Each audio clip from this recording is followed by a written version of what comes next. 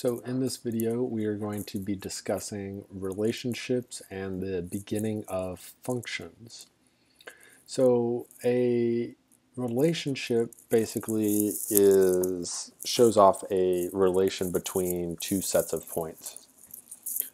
So typically we just call these relations and again we're just comparing how one um, variable relates to another variable. So the relationship between x and y. So what do they have in common? What's different? What's going on between these two things? And we can make x and y be all sorts of different things. So for instance, let's say that in a track meet, the first place um, participant gets five points, the second place gets three points, third place gets two points, and fourth place gets one point. So we can create this relation between the place that they made and the points. So we could say that the so the x coordinate represents the place that they placed in. The y coordinate is how many points they got based off of that. So you can see that we have this new type of notation which has these curly braces. So curly braces denote a set. So what a set is, basically it allows us to look at these relations and say that, hey, only these relations are going to be true for whatever we're looking at. So for instance, there is no thing for fifth place or sixth place or so forth and so on. There's only these first four, and these are the points that you get out of them. So a set basically defines what is actually capable of happening. So we're, we can use these relations and we can actually look at them in multiple ways. We can look at them as tables, we can look at them as graphs, or even mapping diagrams. So the domain of any relation is going to be the set of the first coordinates. So the very first coordinate is always your x values. So the domain is always going to be associated with your x values. The range of the relation is going to be the second coordinate or your y values. So anytime we talk about range, we're talking about y values. Anytime we talk about domain, we talk about x values. So if we look at just the set of the domain, which is first place, second place, third place, and fourth place, that's our domain of this relation. And the range is going to be the 5, 3, 2, and 1 points. So we don't show the relationship between how the domain and the range um, connect when we're looking at just domain and range. We just care about the single numbers that are in as the x values or as our y values for the range. So looking at this example, we want to talk about what the domain and the range is. So your domain is going to be your x values. So we care about what x values get used. And one way to look at this is to actually go and drop down like a little line that goes straight down from the starting point and the ending point and whatever that is is going to be our range or sorry our domain so we can see that our point so from 1 to 5 we can see that any point on this line between 1 and 5 is going to be in our domain because it's our x value points so remember a line has an infinite amount of points on it so there are two different ways that we can describe this. So we could start by saying for our domain that it is the x values between 1 and 5. So we have this inequality way of saying that. So if you notice that these dots were solid, so we actually get the or equal to piece on both of these inequalities, and basically, this notation right here is just saying, hey, we're between 1 and 5 inclusive. So we include the value of 1 and 5. So that's one way of writing it. Another way of writing it would be to use uh, bracket notation. So a hard bracket, your starting point, comma, your end point, and a hard bracket there as well. So the difference between a hard bracket and a soft bracket is whether or not the point is included. So we have included and not included.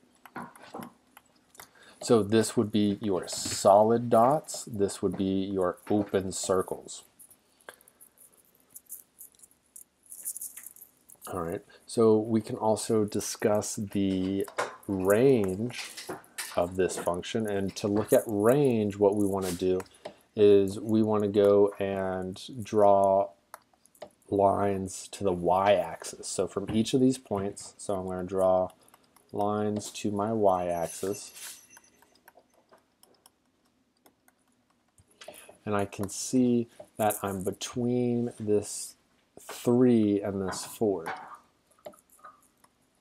So we can say that our range is going to be the number between 3 and 4. So since those are solid dots, we're going to be included. And since we're talking about range, range is your y value. So it's the y values between 3 and 4. Or we can use the bracket notation. So since 3 was included, hard bracket, and since 4 was also included, it also gets a hard bracket. So you can have a combination of hard and soft brackets. Like for example, you could see um, something that looks like this.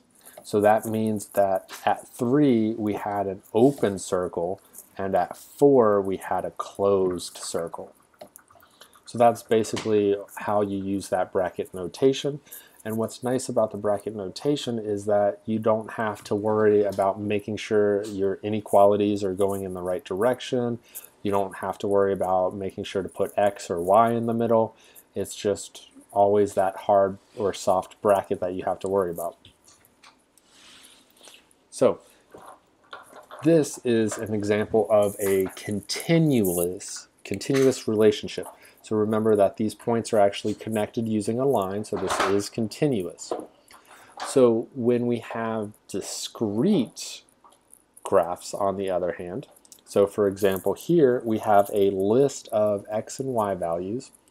So we don't know whether or not these are connected. We only know these single points. So like if I went and um, quickly sketched, so let's say this is 1, 1, here's 4, 4, and down here is 8, 1. So I don't know if these are connected. These are discrete, so they are single points on this graph. So because they're discrete, we actually talk about domain and range a little bit differently.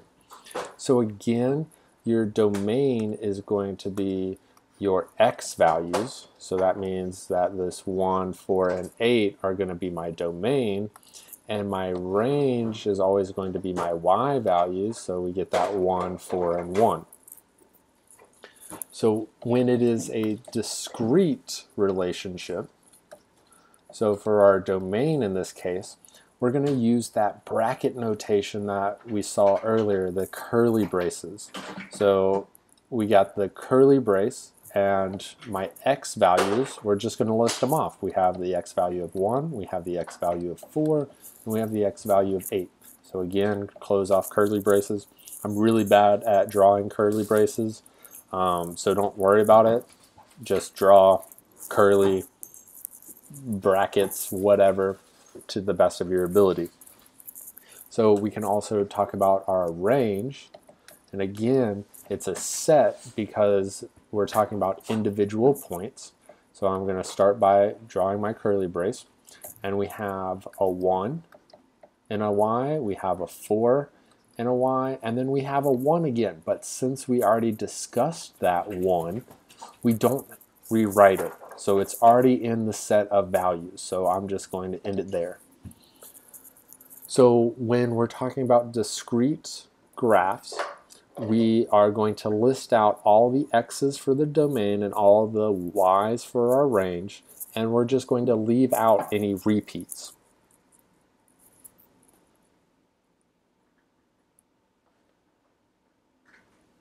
So a function is a special type of a relationship which pairs each domain value with exactly one range.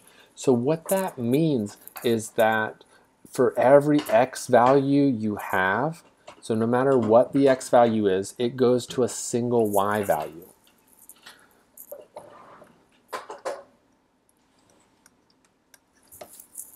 So one way to kind of think about this is your domain is your input values, so what you plug in, and your range is your output, what you get out. So a function is basically like a machine.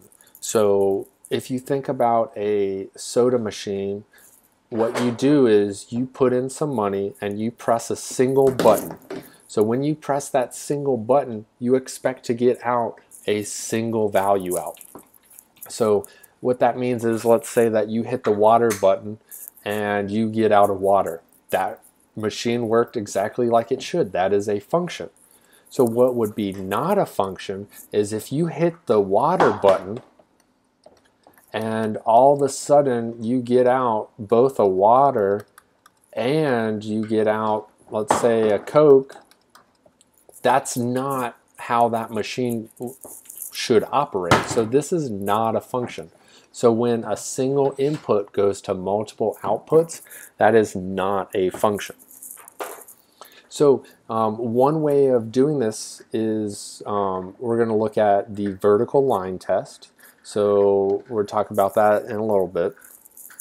But basically that what that is is if you run a vertical line through a graph and the vertical line only touches a single point on the graph, then it would be a function because we're looking at x values with those vertical lines.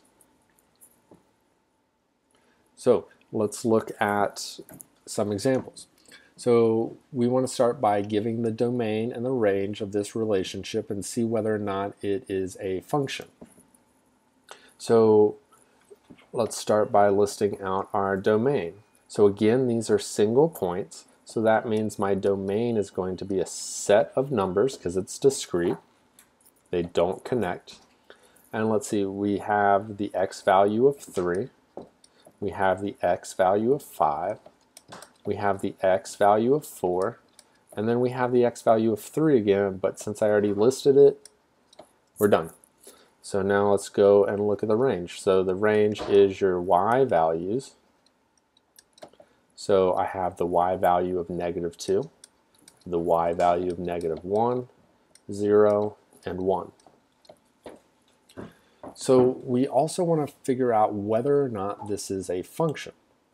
So remember, that means that a single x value can only have one y value associated with it. So if we look closely, we have two x values and they both go to different y's. So because we have this happening where we have the same exact x value and their output, the y value is different, this is going to be not a function.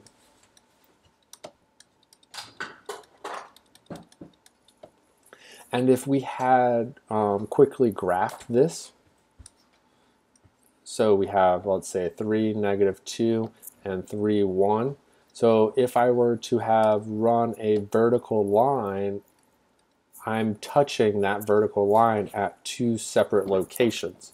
So that's saying that for that x value, there are two points that it goes to, which doesn't make sense. Because again, that's like saying, hey, I clicked the button number three and I got out uh, Cheetos and crackers at the same time that function, that machine is not working. To you, you may be like, yeah, sweet, I got two things for one, but that's not how it should work. So you need to think about functions like machines. So you hitting a single input, you should only get out a single output. So let's go and try this next one. So we want to look at this graph and see what the domain and the range is and tell whether or not the relationship is a function. So Notice that we have lines this time. So since we have lines, we know that this is going to be a continuous graph. So because it's continuous, we're going to use either the inequality notation or the bracket notation. So we want to find the furthest point out for our x's. So this right here would be the furthest point out that this graph goes on the left side. So we can look at our x values and going from this point over here, we can shade all the x's all the way to over here. So one thing I just want to make sure that I check is that the little yellow highlighter I drew, there is a red every single place vertically for my yellow line. So that means that it's basically continuous from here to here, and I can go from here to the other place somehow using that line without having to make any jumps. So that means I'm using that full domain. So again, we can go and we can see that this is, looks like negative 5. And over here we have positive 3. So my, for my domain, we're going from negative 5 to positive 3. So again, because we have an actual point on this um, shape, that we can actually close off that um, point. So we have the or equal to inequality. So for the bracket notation, that would be a hard bracket negative 5 to 3, and with a hard bracket at that 3 as well. Our range, we want to look at the y values. So we want to see the furthest y value it goes, which seems to be about here, and the lowest y value is right there.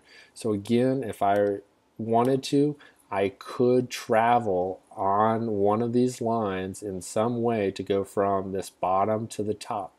So that means that it is continuous, there's no breaks. So I can then say that my range goes from, let's see, what is that? Negative 2 to 1. So from negative 2 using my y to 1, that's my range, or with the bracket notation, negative 2 to 1. And again, they're hard brackets or the or equal to on the inequalities because we have actual points at those locations.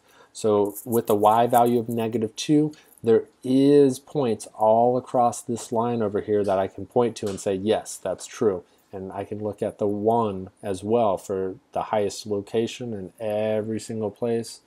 We have those points, so they are included within this range and within the domain as well. So if I were to draw a vertical line and drag that vertical line across this graph, I want to see if there are any points, any points where if I drew a vertical line, if it would touch it more than once.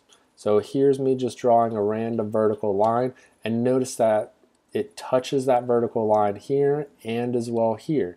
So because I have those two points, this is also not a function.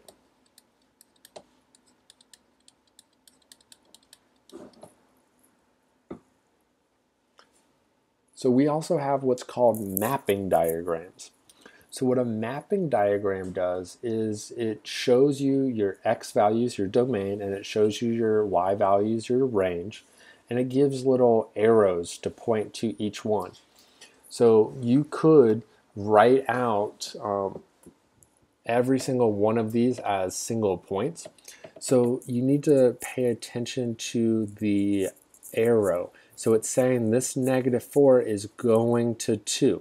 So remember your domain, your x values are your input. So it's saying, hey, if you input negative 4, you're going to get out 2.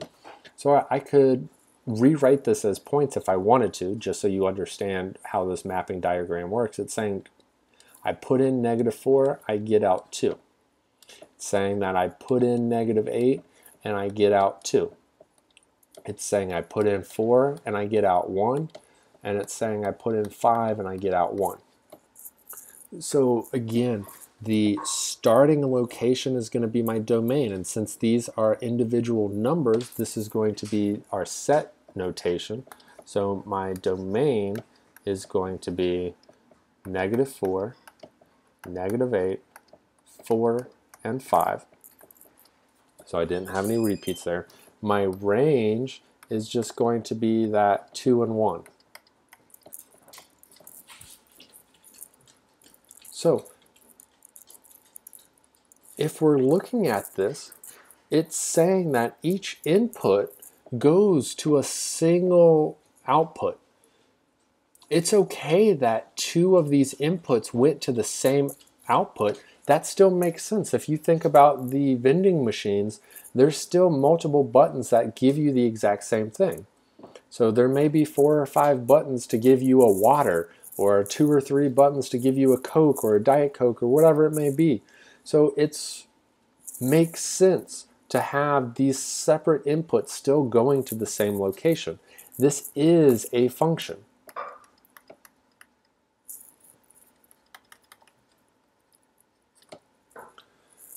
So what would be not a function? So if I came over here and just redrew this mapping diagram, let's say negative 4, negative 8, and we have 1 and 2 and I said hey this negative 4 goes to this 1 but negative 4 also goes to 2 negative 8 just goes to 2 so the fact that this input of negative 4 went to two separate locations this is not a function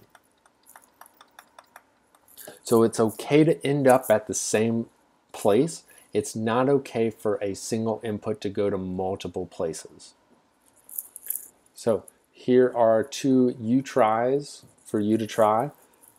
List out what the domain and range of each of these relationships are and say whether or not they are a function. So on the first one, your domain was negative 6, negative 4, 1, and 8, with your range being 1, 2, and 9, and it is indeed a function. On the second one, you would have had 2, 3, and 4 for your domain, with your range being negative 5, negative 4, and negative 3, and this one is not a function.